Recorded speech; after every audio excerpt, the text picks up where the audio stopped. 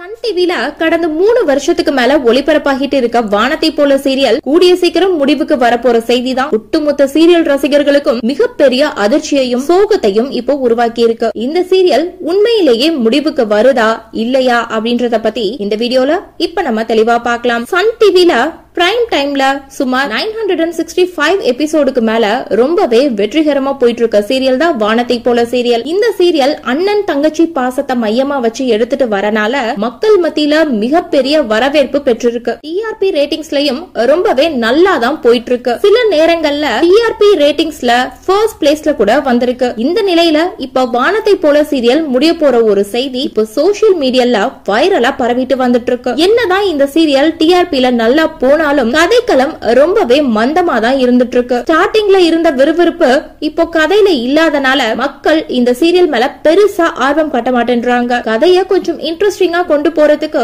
இந்த சீரியல்ல ரீசெண்டா சின்ன திரை தளபதினு சொல்லப்படுற நடிகர் சஞ்சீவ் வீரசிங்கம் கேரக்டர்ல செம்ம மாசா என்ட்ரி ஆகி சூப்பரா நடிச்சிட்டு வந்தாரு. ஆனா என்ன பண்ணாலும் எதை பண்ணாலும் கதைய பெருசா கொண்டுட்டு போக முடியல அப்படின்னு தான் சொல்லணும். மேலும் அடுத்தடுத்து சில புது சீரியல்கள் வரப்போகுது. இதனால இப்போ வேற வழி இல்லாம இந்த சீரியல் முடிக்கலாம் அப்படின்ற மாதிரி ஒரு முடிவை எடுத்திருக்காங்களாம். அதே சமயத்துல இந்த சீரியலுக்கு நல்ல ஃபேன் ஃபாலோயிங்ஸ் இருக்கனால உடனே சீரியலை முடிக்க முடியுமா அப்படின்ற சில கேள்விகளும் வந்துட்டு இருக்கு ஆனா எது எப்படியோ வானத்தை போல சீரியல் முடிய போற செய்தி சேனல் சைட்ல இருந்து அபிஷியலா வர வரைக்கும் நம்ம வெயிட் பண்ணி தான் பார்க்கணும். சோ இந்த வீடியோவை பார்த்துட்டு இருக்க நீங்க வானத்தை போல சீரியல் முடியணுமா இல்ல வேண்டாமா அப்படின்ற உங்களுடைய கருத்துக்களை கீழே உள்ள கமெண்ட் செக்ஷன்ல ஷேர் பண்ணுங்க. இந்த வீடியோ பிடிச்சிருந்தா லைக் பண்ணுங்க ஷேர் பண்ணுங்க. மேலும் இது போன்ற பல செய்திகளை தெரிஞ்சுக்க நம்ம சேனலை மறக்காம சப்ஸ்கிரைப் பண்ணுங்க.